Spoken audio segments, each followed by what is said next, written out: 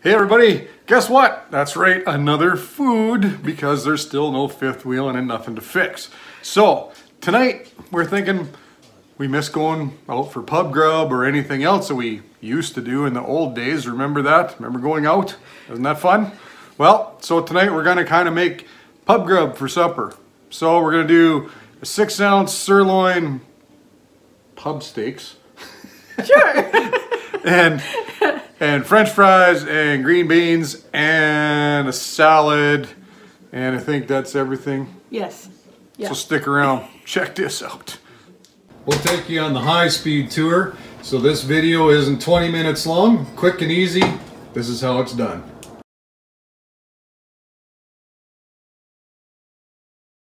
Real quick recap on how to vacuum seal. So again, we're just taking, we're just using uh, little six ounce sirloins today. It's gonna be a healthier type supper. Zip them all the way across for the last little bit.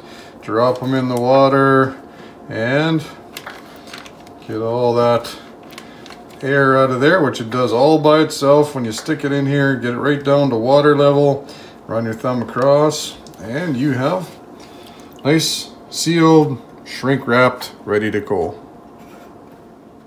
All right, steaks are in. They're in swimming in their own little sealed bags, as you can see in there. I'm gonna do these to 128 degrees because we want to be a little less than medium rare just because we're going to pan fry these in the cast iron with a little bit of garlic when we're done. We're going to have some nice fresh mushrooms diced up. We've got green beans and we're going to blow the diet tonight because we're going to have french fries. That's right, it's pub night at our place. Talk quick about the fresh mushrooms. What are we going to do? We're going to hit it with some Five Monkeys orange chili, Lea & Perrins Worcester sauce, Harry Sue's. Uh, this one you haven't seen me use before. This is awesome. Slap your daddy. Slap your daddy. Some Code 3 backdraft. Need a little heat. A little bit of garlic powder, not salt. A little bit of chipotle sea salt and some black pepper. And the magic will happen right here and right now with a little bit of butter. You need to start with half as much butter as Arkansas woodcutter uses on one slice of bread. All right, let's hit it. Fresh ground pepper. I already got the salt in there. A little bit of garlic powder. About that much. Some Code 3 backdraft. Give it a little heat. Yep, get that in there. Get you some of that. Now, Harry Sue. Not too much. About half a, half a tablespoon. Worcester. Good shot. Good shot. Can't overdo the Worcester.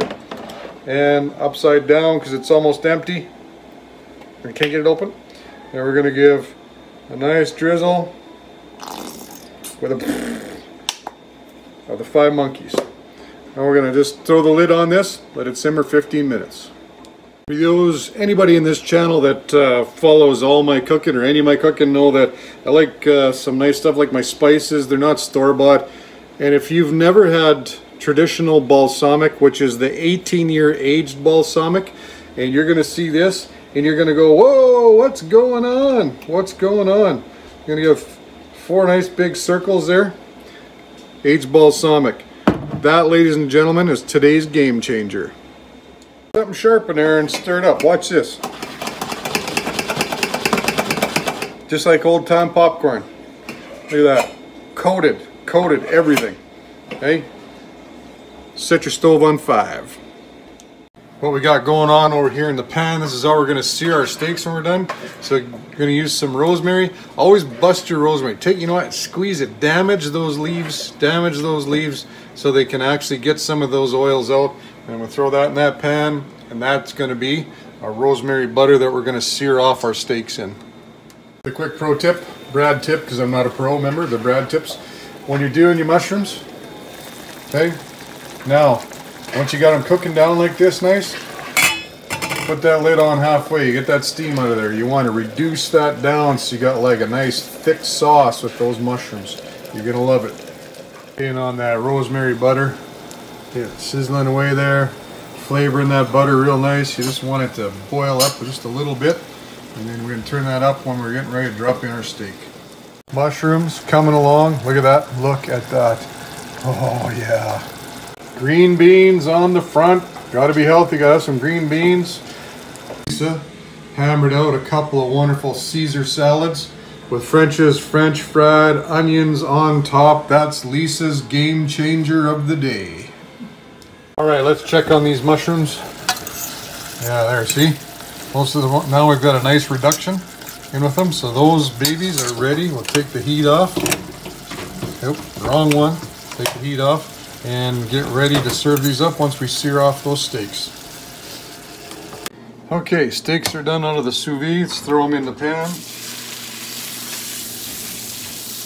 Now, got them in that, gonna put a sear on them here. Now, the hotter you sear and the longer you sear, the more of a crust you get on there. So here comes personal preference time.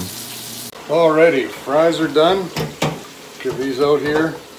A little bit of fresh sea salt. Give them a grind. Give them a shake. Another quick toss on there of sea salt. Got your bowl. Hot oil, safety first people. Got some paper towels in there to absorb the extra oil. Got them upside down now. One more grind of sea salt, and you got some fries.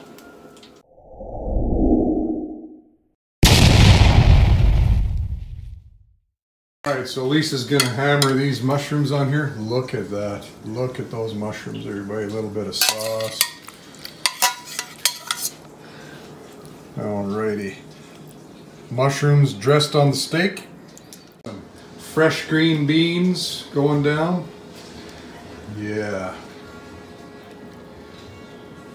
Those look delicious. Love fresh green beans. Can't beat them. So much better than frozen. Final touch. Some fresh deep fried french fries. And by fresh, I mean out of the bag. Normally, we make our own. We get russets. We have a potato cutter. But this is pub night, so we wanted to go all authentic.